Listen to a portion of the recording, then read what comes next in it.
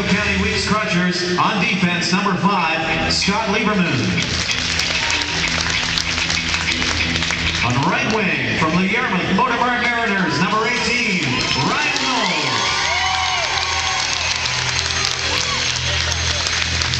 From the Antigonish Bulldogs, on center, number 19, Colby Gilbert.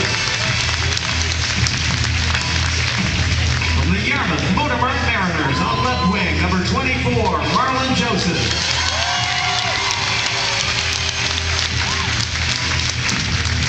goal from the Pictou County Weeks Crushers, number 31, Kyle Scott.